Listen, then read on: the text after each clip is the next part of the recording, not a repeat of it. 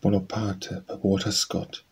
From a rude isle has lineage come, with spark, and from a suburb hovels half a scanding wraps some capital in flame of not a meaner or more sordid birth. For the soul the bathing waste the earth, the sable land flood from some swamp obscure, and poisons the husband field with dearth, where destruction bids its fame endure, half not the source more sullen, stagnant, and impure.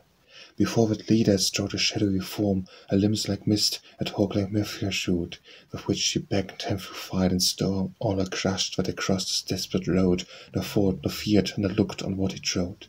Reims could not glut his pride, blood not slake, saw a hair shock he torch abroad, was ambition baked, his terrors wake, ordained she as of yore a mightier form to take.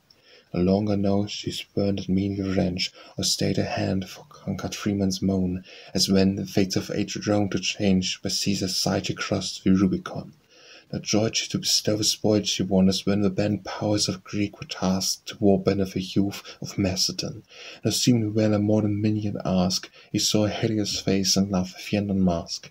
That prelate marked his march, when as blazed with battles won in many a distant land eagle standards, and an arms he gazed, and hopes win, he said, the power shall stand.